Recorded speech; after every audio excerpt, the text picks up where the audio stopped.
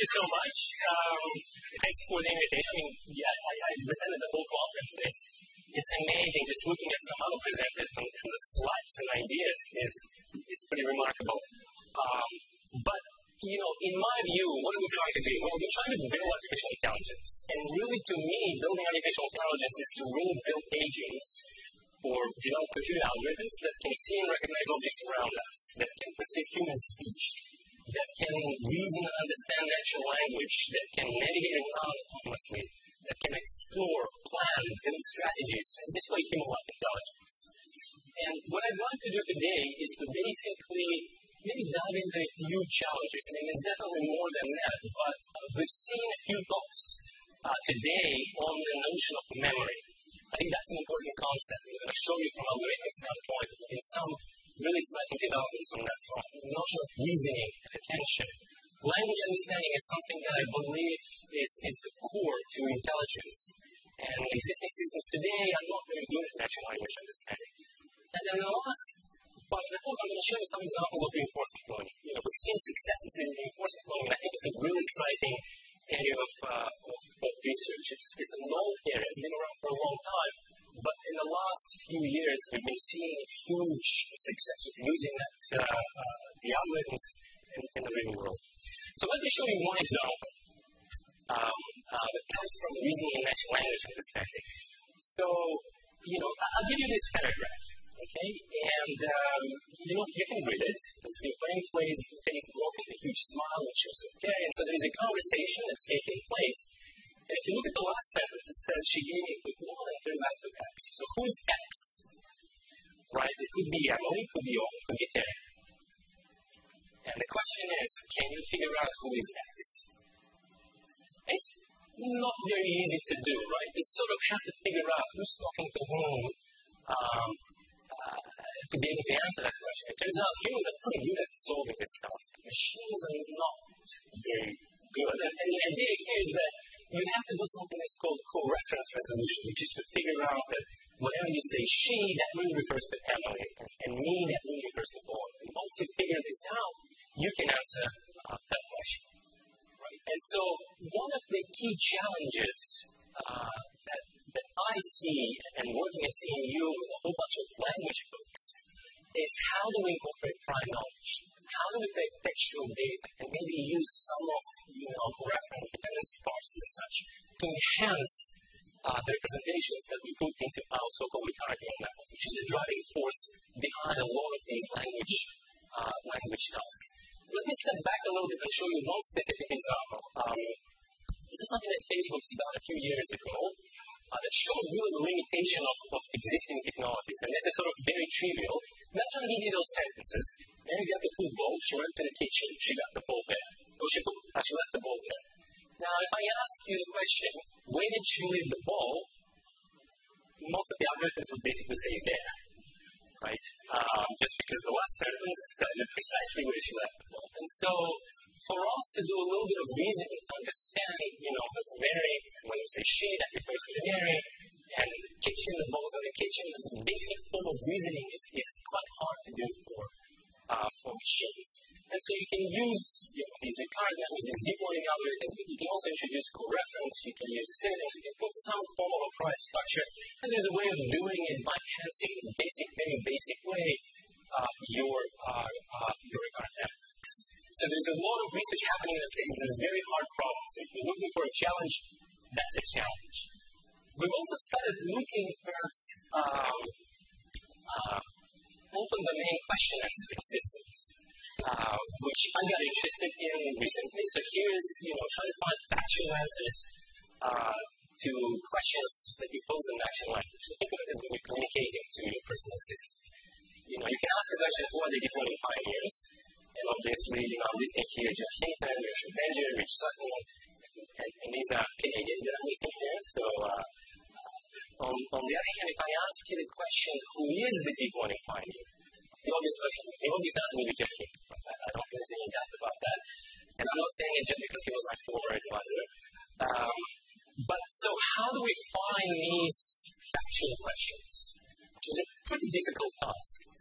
And it turns out that a lot of systems today, especially systems in the big companies I'm are using so-called knowledge graphs.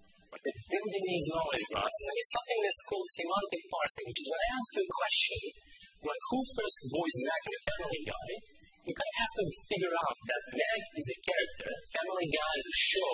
You have to map it to your knowledge base and then figure out who is, what kind of question I'm asking. It turns out that if you can solve this task, semantic parsing task, you can answer the question up front. But in many cases, it's extremely difficult to do. Like it's noise, you have to understand what, how the mapping works and such. Um, so sometimes when you use your personal assistants, you know, you know, your personal assistant that gives you rubbish answers, that's the reason why. Because semantic parsing is typically failed, or your knowledge base is not complete. And in the last few years, we've been seeing this amazing developments in the space of using textual data as knowledge base. So basically, looking at structured data, employing deep learning techniques like recurrent neural networks um, to really look at unstructured data and finding answers. And that's becoming more and more dominant today. In fact, you know, this, this paradigm shift of using unstructured text is, is surprising because a couple of years ago I talked to folks in the industry and they would basically laugh at this, saying that there is no way, you know, recurrent networks or you know, these uh, deep learning models would actually solve uh, these tasks, but now we see more and more of that, uh, that technology taking place.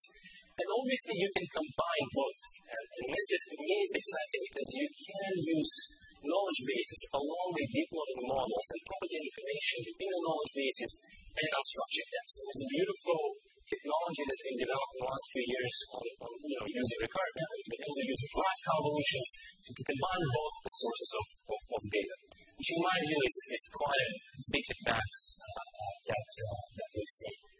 Um, we also started looking at something that's called multi-hop reasoning, and this is a collaboration between uh, Stanford, CMU, and Montreal. Um, and suppose I give you those articles, and, and I specifically pick Geoff uh, uh, uh, as, as an example here. Um, so here's Geoff's description on Wikipedia. Know, Geoff Hinton was born in the UK, he's an English Canadian cognitive psychologist, computer scientist, and so forth. So he talks about uh, biography of Geoff Hinton. Right, and there's another article that talks about, you know, Geoff as being one of the first researchers who, did, researchers who demonstrated the use of back propagation algorithm, and basically he's the driving force behind deep learning today. He's a deep learning pioneer and a leading figure in the deep learning community. Now imagine I ask you the following question. Name the deep learning pioneer who was born in the UK. To us, it's pretty obvious that the answer should be Hinton. Right? But nowhere in those articles, you know, there's a statement that says that. So you have to infer that Geoff Hinton is a deep learning researcher, deep learning pioneer, and then Geoff Hinton was born in the UK. So if I ask you that question, you can make inferences about it, right? And surprisingly, it's extremely difficult to do that uh, in, in, in, the most general way. In fact, if you ask Google, you put this uh, query into the Google, then it basically comes up with NJ, which is correct. Apparently, Jordan was born in the UK. I didn't know that. But then it goes through like a whole bunch of other uh, folks, and, and, I think Geoff is not in the top uh, 10 heaps.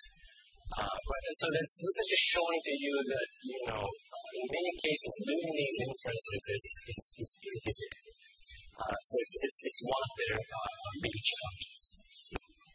Now, let me switch gears a little bit and show you some examples of, of reinforcement learning. And this is another area of research that we've seen lots of success in the last, uh, in the last few years. It's a very popular area of research. Let me show you uh, what's the goal here. The goal here is to really learn behaviors. Right? And we've seen some of the previous talks that talk about how do agents interact with the environment, how they learn behaviors. It's a really uh, uh, trying to figure out how you make sequences of observations and actions.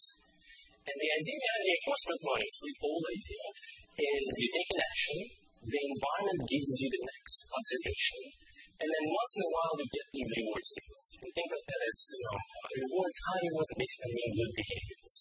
Negative rewards mean, means bad behaviors. And designing the reward structure is actually pretty challenging, but nonetheless, it's a part of the model we um, and, and, one thing I want to emphasize, I think it's not emphasized enough, is this notion that I, believe has been a pretty substantial breakthrough uh, in the last few years is the notion of learning memory. Uh, a lot of deep learning algorithms today basically use weights and parameters to learn about you know, images or texture data. Uh, but there's been some advances in learning external memory, which is a mechanism to write into memory and read from the in a differential way, so you can actually learn what to write and what to read. This was done uh, by Alex Graves, uh, who's a DeepMind, it's a beautiful work. Um, but before I get into that, let me just show you one example of using reinforcement learning in 3D environment. It's a fairly simple environment. Here you're navigating in this three-dimensional world. Observations is what you see, there's a bunch of pixels. Uh, actions are, you know, move left, turn left, turn right, go forward. And what's interesting about this particular example is that the worst structure here is collect as many objects as possible. So your goal is to just collect objects. You're not telling the system how to navigate, what, what to do. You just basically tell the system just collect as many objects as possible. And through the process of learning uh, in this virtual world, the agent basically figures out how to navigate, which is remarkable. Right? It basically now knows how to move around, and doesn't go into lava, it understands something about the 3D world, um, you can train the model, you know, in different environments. And what's interesting is that when you place this agent in another environment, uh, a new unknown map, then it has no problem navigating it in a new environment. Uh, right? And so this idea of using sparse rewards and, and teaching the agent to navigate is, is, is uh, a pretty interesting one. so here it's navigating in this new environment. Now, in terms of trying to figure out how to store information, but let me show you one example why this is a difficult task. Um, there's a fundamental problem that a lot of us in the research community are trying to solve is this notion of long-term dependency task, which is you have to store information for long, long periods of times in order to solve a particular task. So you have to remember existing models, even recurrent neural network style models, can't solve this. So this is just an example where I give you some maze, you, you hit the maze, and if the indicator is blue, you have to find a side block. If the indicator is green, you have to find uh, another block. Right? So you have to remember what block you see to find uh, another block. So it's a trivial task for us as humans, and it's a trivial task if I tell you beforehand these rules. But if I just throw the agent in the environment and tell it, you know, figure out what you need to do, it turns out to be extremely difficult. So you need to have this memory mechanism that, that, that you need to learn what to store and you need to learn how to read from the memory. And so these are things that we've also been looking at. So having this notion of memory that evolves the time. Uh, this is what we call structured memory or neural map. That, that again, uh, as a way of learning. Now, these algorithms are still a little bit brittle, um, but I think that there's a lot of potential for, for these types of algorithms, particularly developing agents that can plan, agents that can build strategies, agents that can remember information in the past so that we can act optimally in the future. Um, we've also looked at, and there's a whole bunch of other folks are now also looking at the example of uh, so-called um, uh, language grounding tasks, task-oriented navigation. So imagine that I give you a bunch of training examples and I tell, and I tell you, no, go to that particular object, go to this particular object. So how do you teach these systems to uh, an agent to navigate and execute the instruction? So here you have to understand something about natural language, right? You have to understand something about the 3D environment. You have to have some form of recognition and, and uh, of, of the objects that you see. And here's an example of you know the agent again navigating in this 3D environment. But what I want to point out is that it actually figures out things like go to the short green paper. So what's the meaning? How do you define the meaning of the word short? Well, how do you define the meaning of the word tall? Right? Because it's a relative definition. And so here you're basically training an agent in this virtual world to start grounding these basic concepts. Um, uh, and so this is, to, in my view, just a little step towards trying to figure out the meaning of the words, but basically grounding the meaning of the words to the agent behavior. Um, and so ultimately, you know, how do we get agents that can, you know, navigate the policy? How can they build agents that localize, interact with the world, reason? Uh, um, and that's where the natural language component will come in. This is where the memory and reasoning will come in um, as well. Now, in the last minute and a half that I have, uh, I want to show you that there's a lot of work right now in the space of tackling also some of the bigger challenges. Big challenges, data bias is one big challenge. Serial example, explainability, how do systems that can explain the outputs, the actions that they're taking. Fairness is another example. Um, uh, uh, but one thing that, last thing that I want to point out, this comes to the notion of kind of like the serial learning, uh, is this notion of statistical generative models. So here you're looking at the training data, these are just bunch of celebrities, and here you're basically seeing model samples. If you look at the model samples, they look remarkably good. Um, right? And, and, if you look at the progress of building these generative models over time, remember when I was a PhD student, this is what the faces looked like, you know, back in 2014. And over the course of four years, we've been seeing, you know, these big advances in, in, in generative models. You can do things like, you know, converting zebras, converting horses into zebras. Um, right? And, and, this is this is pretty good. Style transfer, converting images into different styles. This is now possible. Obviously, sometimes you know there are kind of failure cases like this one. Um, uh, but where am I going with this? Is to the last point is is uh, uh, you know you have examples like these ones where you can manipulate someone's uh, face here. Uh, so here you have a source vector, you have a real-time reenactment, and it's kind of interesting to see that you can, you know, uh, uh and that's the technology of, of sort of generating. So we, you know, it's it's it's a little bit scary, especially if you kind of like if you see closer when when you get people to smile, it doesn't look realistic and and, and and I think, you know, so can spot that it's fake, and I think it's a good reason. I have, uh, my background is Russian, and, and there's a saying in Russian that basically says, smiling without reason is the basis for basically being an idiot. So, so you just, just don't smile, uh, here's an example of, a like of, of Donald Trump. Um, so on that note, let me uh, uh, say that you know, these kinds of generative models are also being used in the space of uh, reinforcement learning generating world around you so you can understand actions that you're taking and, and such. So this is very exciting technology, a little bit scary, but, uh, but on that note, thank you. And, uh,